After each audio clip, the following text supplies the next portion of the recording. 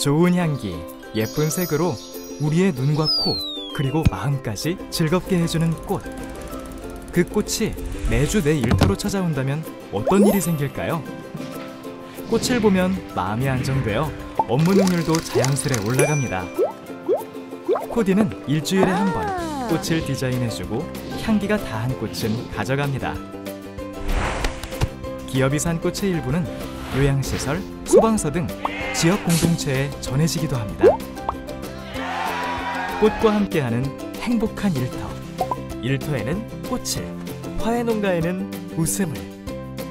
홈페이지에서 신청하세요. 꽃코디가 직접 방문하여 상담해드립니다. 일에 꽃을 더하다. 원 테이블 원 플라워.